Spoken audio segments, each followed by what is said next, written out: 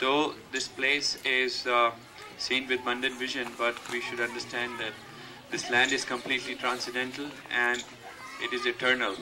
And in all the four yugas, it has its manifestation.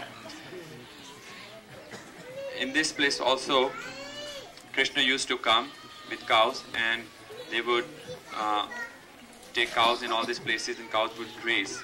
And he was saying the cows are named as Bhuri Singha cows.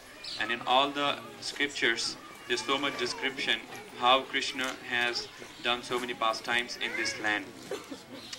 Before manifesting here in the eternal realm, when Shrimati Radhika and Krishna were together in one form, and then to do pastimes, they manifested in two forms. Then Shrimati Radhika, she manifested these 12 forests of Vrindavan from her form. And here, Srila Rupa Goswami gives a very nice description of this place. And he says, though in Vaikuntha, the treasure of Vaikuntha is all the uh, touchstone and desire fulfilling trees are the treasure of Vaikuntha.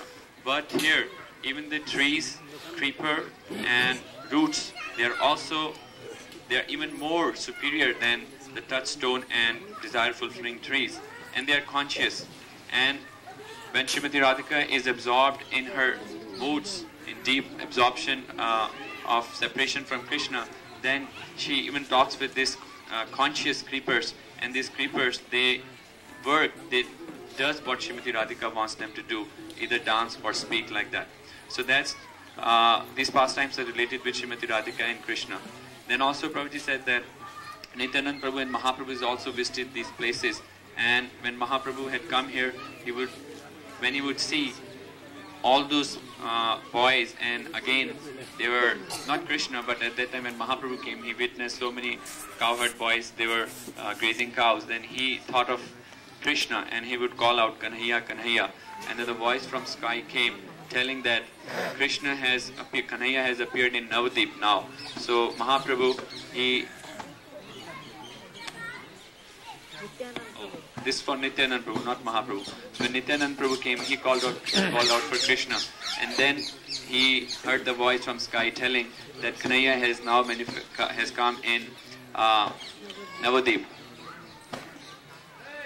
So the deep mysteries of this land can only be understood by those people who are, whose heart has melted with bhav and who doesn't have any more cheating propensities in their heart this place, this particular place where we are sitting now, is within the realm of Vrindavan. This is called Shwetadip.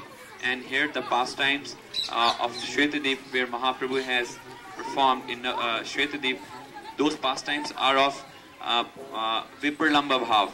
So both Vipralamba and Sambhog, both are uh, seen in this whole land, but this particular place witnesses this Vipralamba Bhav and is called Shwetadip. Haribol.